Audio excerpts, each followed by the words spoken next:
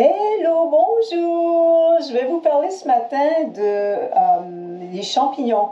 Les champignons qui sont très très bons pour la santé et puis ça va être dans la publication. Vous allez pouvoir voir au bas de la publication euh, tout ce qui est bon dans les champignons.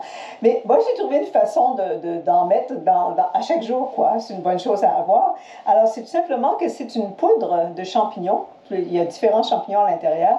Et j'utilise, excusez mes mains là, parce que j'ai fait du jus de turmeric, alors j'ai des mains jaunes un peu. Alors, euh, donc c'est ça, j'utilise la poudre de champignons dans mon matcha. Et ce que ça donne comme résultat, c'est crémeux, c'est délicieux. Alors là, j'ai ma petite machine qui réchauffe, là, c'est pour ça que ça fait un petit peu de bruit.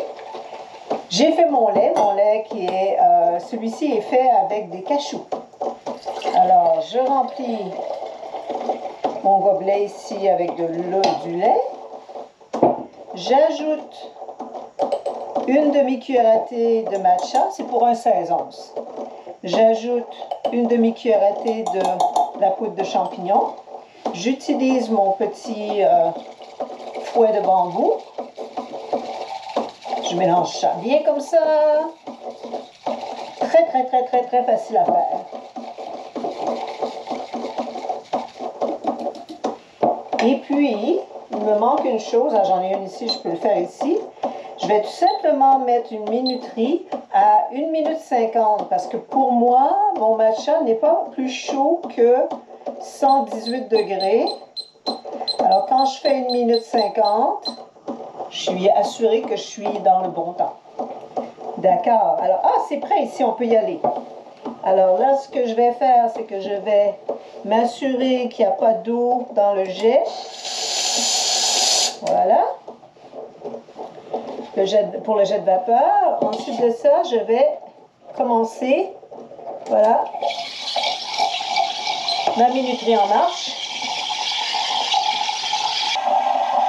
Alors, ça, c'est bien de mettre le jet de vapeur contre le pichet en angle et ça, ça permet de faire circuler le lait en tourbillon pour créer une microbulle.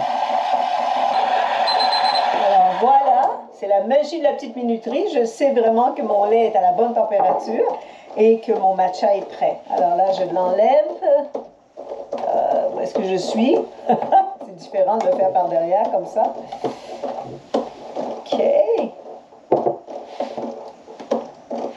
Toujours idéal de nettoyer au même moment. Voilà. Et